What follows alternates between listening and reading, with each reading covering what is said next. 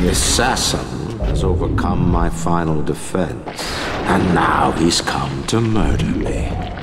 In the end, what separates a man from a slave?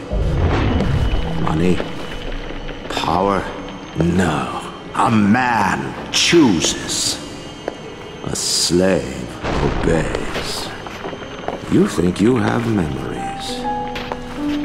A farm. A family. An airplane. A crash. And then this place. Was there really a family? Did that airplane crash?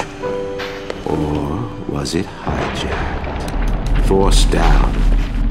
Forced down by something less than a man, something bred to sleepwalk through life until they are activated by a simple phrase spoken by their kindly master. Was a man sent to kill or a slave? A man chooses. A slave obeys. Come in.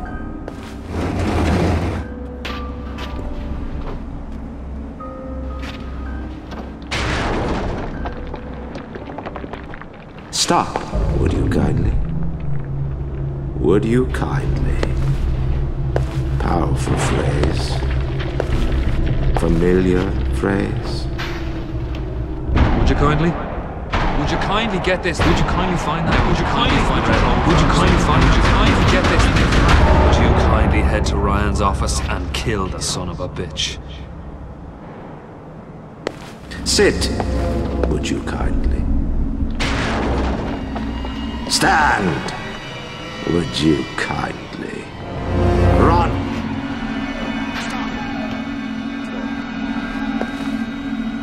A man chooses, a slave obeys.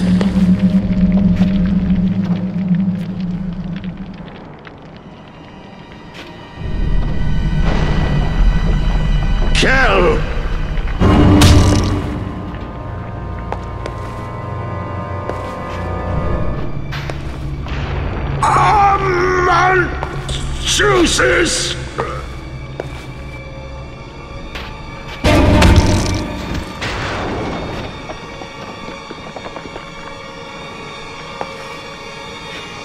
A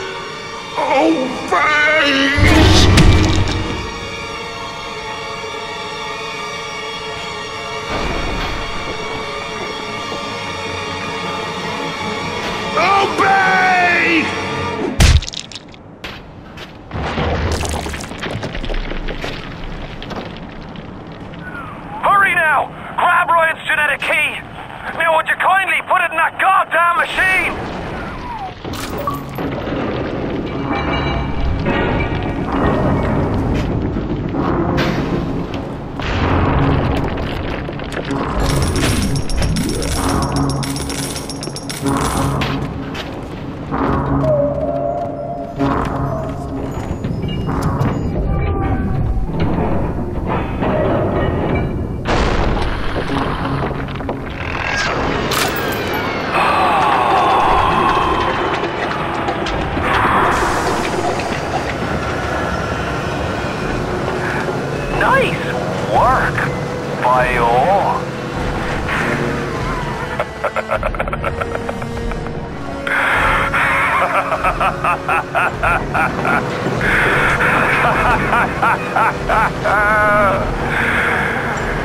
It's time to end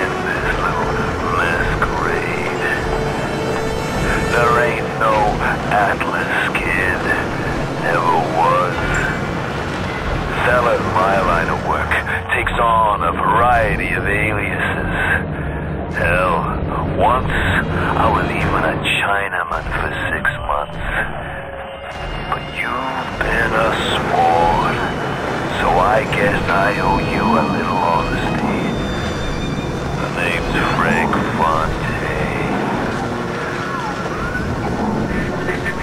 I gotta say, I had a lot of business partners in my life, but you, course, the fact that you were genetically conditioned to bark like a cocker spaniel when I said, would you kindly might have had something to do with it, but still.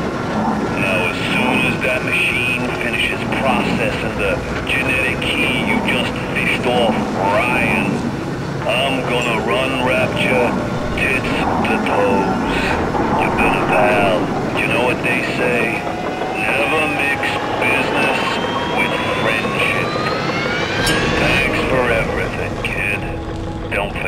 Say hi to Ryan for me.